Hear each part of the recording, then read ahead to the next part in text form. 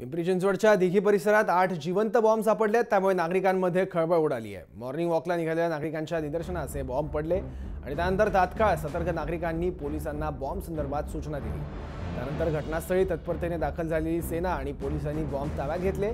सेनेच्या जवानांचा सराव सुरू असताना हे बॉम्ब मिसफायर झाले होते आणि ते नागरी वस्तीत पडले. सापडलेल्या बॉम्बची क्षमता इतकी आहे की ज्याच्या स्फोटामुळे दीडशे मीटर परिसरात मोठ्या प्रमाणात हानी होऊ शकते.